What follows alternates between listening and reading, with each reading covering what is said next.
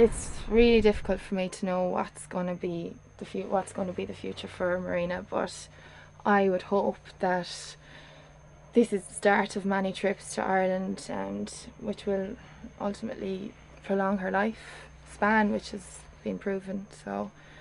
Um, hopefully the fresh air and the good food and everything is going to be um, a great advantage to her.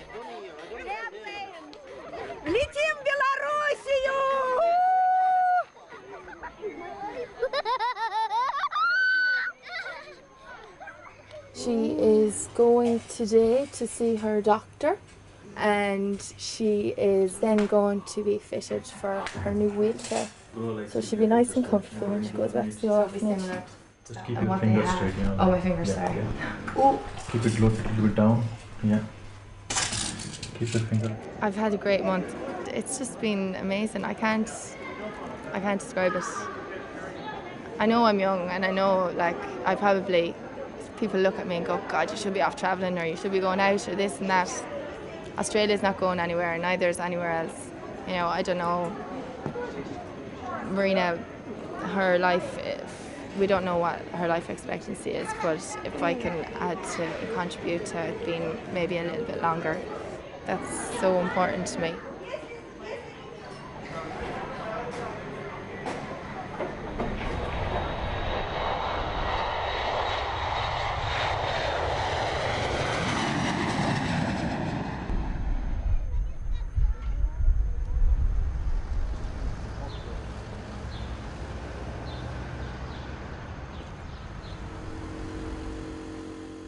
Natasha Tatarintsev is a 33 year old lone parent. Her son Sasha is 12. She has a tumour on her spine and cannot walk. Sasha has severe brain damage. He had a tonsils operation when he was a year old. It was carried out without anaesthetic and went terribly wrong. Уверена, что мой ребенок захлебнулся кровью, что у него было кровотечение, что поэтому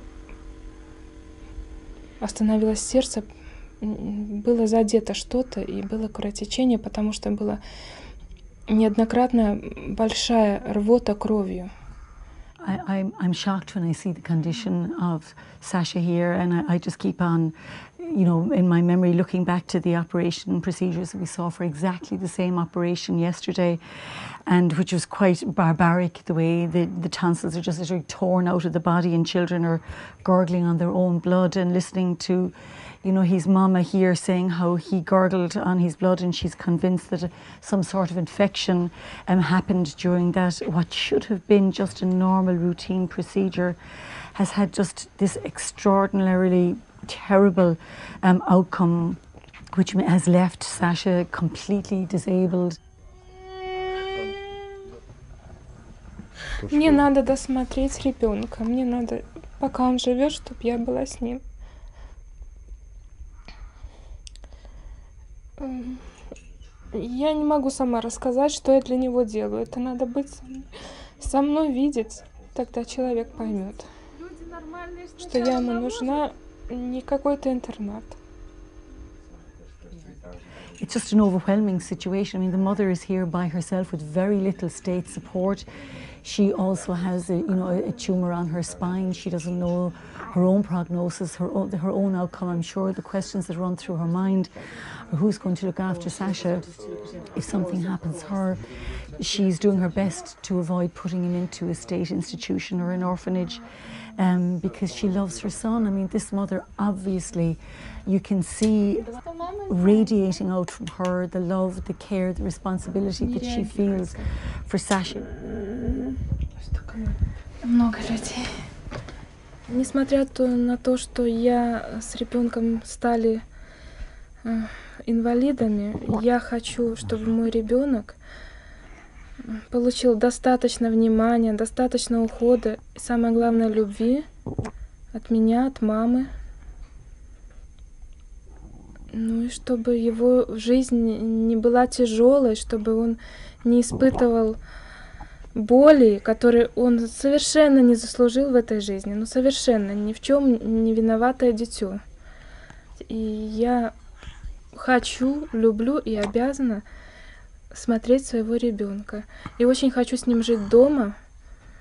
То, что нам бывает очень тяжело, потому что мы одиноки.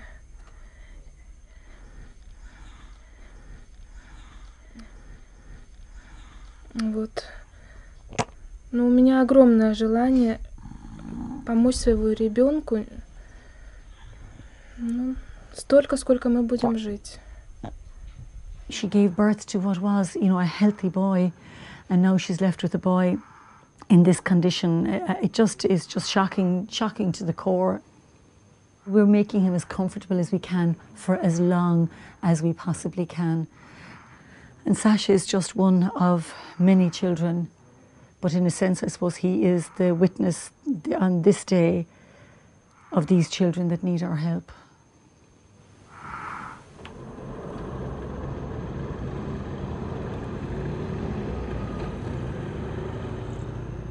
There's always a weight, I think, that you bring home with you from Belarus. Well, certainly I always feel a weight because you know how big the problem is and how how much you're just scratching the surface. So it does feel it it, can feel very um, dark some days, but um, when you see people come together to do extraordinary things, to give up their holidays, to get out here, to you know, just work with children who are in just such a dire sta- strait.